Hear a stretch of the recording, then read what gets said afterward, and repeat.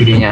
Jadi pakai ini tempat tempat jahitnya ini memang kita eh, memilih mereka yang di Apa? rumah jadi Yang kayak rumahan. eh, eh, konveksi rumahan yang mungkin mereka eh, dengan wabah seperti ini dia apa ya kurang ya Bekerja, berkurang ya penghasilannya, Penghasilannya. ya karena nggak ada order apa nah kita cari eh, yang rumah-rumahan kayak gitu karena kalau pabrik pun juga pasti kebanyakan sudah diliburkan jadi kita cari yang rumah-rumahan yang rumahan.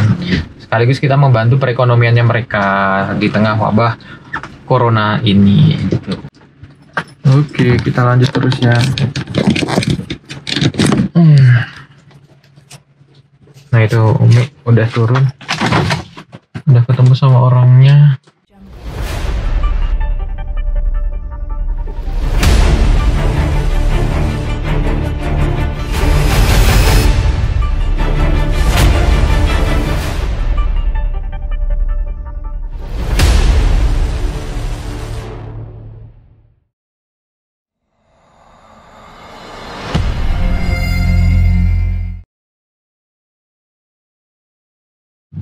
Assalamualaikum warahmatullahi wabarakatuh. Kembali lagi bersama kami di Vertizon TV Mual Center Indonesia.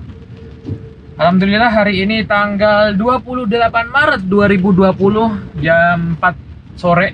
Jadi kondisi di sini, sorry mau pakai ini dulu sabuknya. Lupa. Oke, biar aman ya. aman ya oke pakai sabuk juga Ya. di sini kondisinya baru hujan sendu-sendu gitu dan kita baru perjalanan menuju ke produsen masker yang udah kita pesan kemarin Ya, jadi kemarin kita rencananya eh, mau pesan ini kita trial 1000 dulu. Nanti kalau memang kualitasnya bagus, eh, kita akan produksi lagi. Jadi model maskernya ini Masker eh, kain.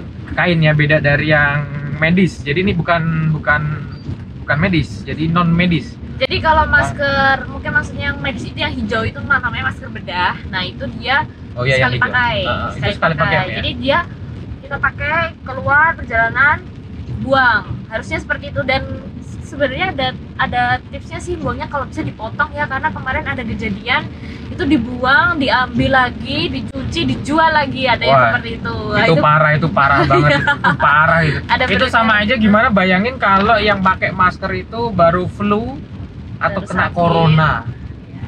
dipakai orang Iya makanya, jadi buangnya tuh kalau bisa dipotong lah, pokoknya di, disobek, digunting gitu. dia Nah, digunting itu digunting satu kali pakai. Tapi kalau seumpamanya masker masker bedah itu yang hijau itu tadi kita Ya. pakai sehari, terus habis itu kita simpen, kalau disimpan dicuci gimana mi nggak bisa. Itu satu Oh, kali pakai. Ya, jadi disimpan. Nah itu malah mengkhawatirkan dia udah udah kena debu, itu kalian simpen kalian pakai lagi itu juga malah bahaya. Jadi ini ada mi bekas jadi orang. memang eh, kita yang kemarin pesen itu seperti ini. Jadi kayak masker, maskernya kain yang dia bisa dicuci. Kita pakai, habis itu sampai rumah kita kita ganti baju semuanya ini juga kita cuci.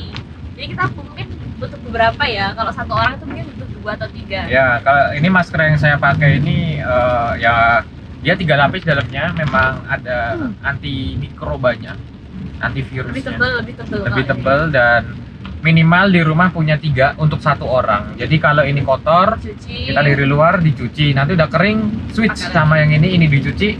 Yang udah kecuci tadi kita pakai lagi. Jadi lebih hemat sih. Jadi ini juga kita coba trial seperti apa. Nanti kalau memang bagus kita akan produksi dalam jumlah yang banyak. Dan semoga sesuai dengan harapan. Kami juga ucapkan terima kasih kepada seluruh donatur baik via transfer ataupun mungkin ada yang cash juga titipin ke orang. Ya, kami ucapkan terima kasih. Insya Allah ini bermanfaat di tengah-tengah kasus COVID-19 ini yang luar biasa. Di beberapa kampung di desa kami pun juga sudah mulai tutup. Apa tuh? bahkan ditutup kampungnya. Oh, kampungnya. jadi nggak boleh masuk kecuali warga sana itu. Jadi kalau ada orang asing nggak boleh masuk. Dan di tempat kita, rumah kita, itu radius 3 km itu sudah ada sekitar tiga yang positif corona. Itu tadi lihatnya Kemudian- dari mana? Dari mana linknya? Linknya Linknya ada di deskripsi di bawah Ah, ah. di apa namanya? resmi ya. Resmi kok web dari pemerintahan Yogyakarta apalah intinya gitu. .go.id kalau Bisa ngeliat lah peta. Ah, ah, jadi bisa klik di petanya, bisa klik radiusnya. Oke, tadinya di kampung kita itu radius 3 km itu cuma ada satu yang positif corona. Dan ODP PDP-nya pun masih sedikit banget dan tadi hari ini kita cek ternyata sudah positif tiga orang terkena corona dan yang eh, ODP sekitar 48 orang dan yang PDP eh sorry ODP 140-an orang yang ODP 48 orang gitu. eh PDP kebalik di Abi ya ODP itu orang dalam ah ya ya, ya. DP orang. Ya, yang ODP itu ada 140-an orang, yang PDP ada sekitar 48 orang. Itu ya cukup kaget karena itu radius 3 km dari rumah kita. Dan kampung tetangga itu ada yang positif ya, Mi? Enggak, enggak tahu. Yang Karang Anyar kalau nggak salah. Emang iya? Iya, satu. Itu kata warga sih. Jadi waktu kita kemarin semprot disinfektan di kampung-kampung, Oh, dari bapak-bapak berarti informasinya. Iya dari bapak-bapak di situ ada satu yang kena. Dan program semprot disinfektan ini alhamdulillah uh, kita dapat support alat dari donatur tambah banyak yang tadinya hanya 5 biji. Kita punya 5 biji, sekarang sudah tambah Sekarang 10. hari ini 10. Eh enggak 11 Mi.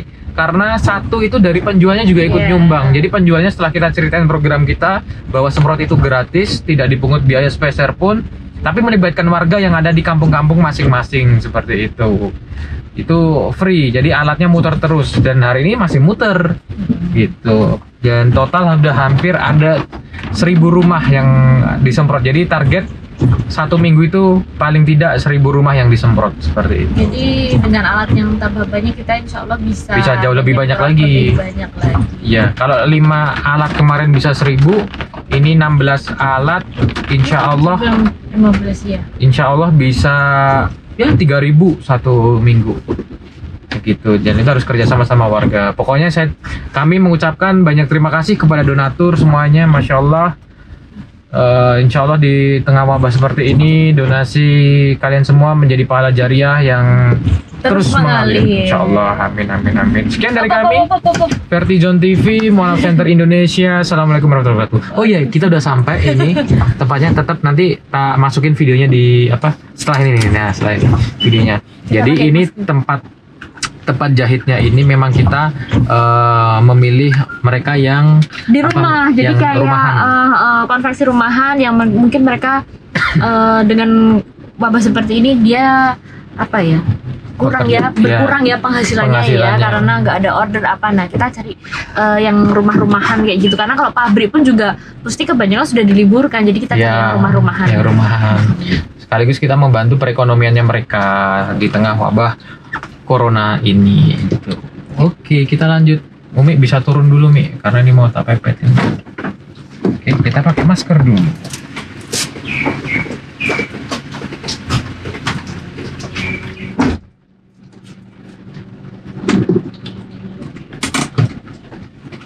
Nah, kita udah sampai.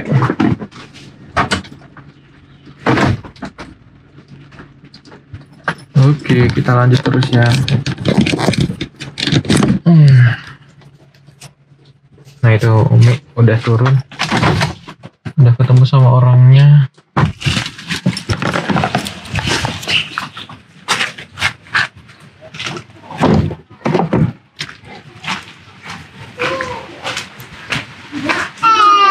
Hai. Nah ini tempatnya. Assalamualaikum. Nah ini udah jadi berapa? 400. 400. Ini 50. Oh satu ini 50 ya? Ini udah jadi 400. Oke satu ininya 50 nih modelnya seperti ini ini kita maskernya. buka yuk Mau buka satu boleh? ini jadi beberapa model Oh ini ada yang dilapisin nih, jadi dia ada dua lapis ya? enggak ini oh iya Oh iya iya. Ini yang masih ada sisa. Hmm. Ini yang ini yang tali. Tali ya. Oh, Kayak pun ini yang elastis. Cuma elastis. Ini toh? sedikit. Oh ya, Soalnya elastisnya mana-mana langka. langka ya. Oh, karetnya. Ini dua lapis berarti ini ya? Iya, semua dua lapis. Oh, alhamdulillah. Ada yang anu, Siap, ada yang siap. selembar nggak ada. Nih, Alhamdulillah. Jadi dia tali kayak gini. Dua lapis. Ini. Nah, ini kan kayak gini nih. Ini dua lapis ini. Iya, dua lapis. Insya Allah. Kita coba ya. Eh, nggak usah deh. Nggak usah dicoba, ngapain dicoba? Jangan Mau dicoba. dicoba nggak apa-apa nanti di Ah, jadi ini ini di ininya dipakai sekalian ini, aja. ah, ah, ini yang dimasukin. Coba umi umi umi satu umi, Iya, umi satu satu ya. nih. Tapi ini anu ya bun, apa kan bau-bau nganu toh? Hmm. Tak katanya Kain. dicuci dulu. Oh, dicuci. oh, dicuci dulu. Hmm. Ini masuk gini. Enggak, enggak. Eh, enggak. Ini yang atas ya? Ah, ah, yang atas. Oh, Nah, ini yang langsung, Iya, ditali di leher. Tapi oh gini. atas Oh, nggak gitu. kendor, bisa langsung pas. Ini gini tali. Ya, tali. Oh iya, Enak kan? enak jadi nggak kena telinga, nggak sakit. Enggak, gini. Nah, kayak gini. Kan Iya, kamu iya. ngapa tinggal Nggak gini? Kendoran gitu. Ya, benar benar benar. Tuh kan as. Siap siap. Jadi punya aku. Enggak, nanti dicuci. Nih yang biru. Terus ada yang karet. Yang karet mana, Bun? Yang karet. Ini ya? Oh, Kita ambil satu aja nggak Iya, apa-apa. enggak Ini karet. Mau lihat yang karet.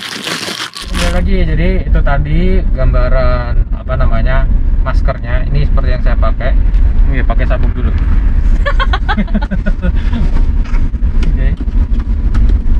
Maskernya enak banget. Jadi dia modelnya ini nih, tak lepas ya punya saya. Ini nih aja nih contohnya. Gak usah biar tahu cara makainya. Nah, nah modelnya gini. Jadi di sini buat di Oke, kepala, aku nyetir. yang di bawah, yang di bawah ini talinya. Jadi modelnya yang di atas yang langsung nyambung ini bisa langsung kita pakai. Jadi contohnya seperti ini. Contohnya kayak gini ya. Jadi ini Ya, dimasukkan gini kan, terus ini ditalikan kayak gini. Nah gini, dah. Terus habis itu di Selesai. tali, set gini tali ke belakang. Dan ini agak elastis sih. Enak karena tidak kena telinga. Dan bahan yang di bagian dalam ini dia bahan kaos, jadi nyaman di muka. Ya, dan ini dua lapis. Kalau kena keringat apa gitu enak di muka, makanya nggak nggak panas. Dan bagian luarnya dia kayak gini. Bahan kaos luarnya, yang dalamnya bukan kaos atau dua-duanya kaos. Enggak, yang luarnya ini kayaknya kaos tapi lebih apa ya, lebih lebih kasar ya. Ya, dan seperti inilah intinya. Dalamnya seratnya yang lebih. Ini nggak sakit di telinga kan kalau karet gini dia sakit kalau seharian dipakai. Kalau ini nggak insya Allah. Aman, insya Allah. Gimana? Puas kan? Jadi kita memang memberi apa ya? Pekerjaan memberi yang terbaik. memberikan yang terbaik untuk umat dengan kualitas yang insya Allah cukup baik dan dibagikan secara gratis serta mengangkat ekonomi masyarakat sekitar Allah. seperti itu. Terus rencananya daerah mana yang mau dibagikan? Ini sementara kita akan bagikan di wilayah Yogyakarta dan Jawa Tengah. Jadi nanti akan kita share ke tim di regional masing-masing. Nanti biar dari regional itu uh, terserah mau dikasih ke misal ojol boleh. Terus mau dibagikan ke pedagang-pedagang yang ada di sekitar ini. Ini kan masih pada buka tuh mereka tuh itu juga boleh ada tukang becak dikasih juga iya terus pokoknya masyarakat yang ada di luaran yang terlihat ada yang jual donat seperti ini kan juga dikasih besok gitu. Itu udah pakai masker. ya tapi tetap nanti bisa kita kasih. Ya itu kan tadi maskernya kan yang ini kan bisa dicuci bisa dipakai lagi gitu loh. Ya. Oke itu dulu laporan hari ini dan setelah ini kita akan lanjut untuk eh, membuat tutorial bagaimana cara membuat disinfektan dari pipa dengan alat yang sederhana tapi itu bisa bermanfaat untuk masyarakat jadi nanti akan kita share tutorial cara bikin disinfektan jadi modelnya kayak pipa tuh Mi. dia masuk ke dalam apa kotak atau box yang nanti tutupin pakai plastik aja nanti dia eh, akan nyemprot disinfektannya so gitu Apakah nanti otomatis? Apakah manual cara semprotnya? Jangan lupa subscribe, like, and comment di Vertizon TV. Mall Center Indonesia. Assalamualaikum warahmatullahi wabarakatuh.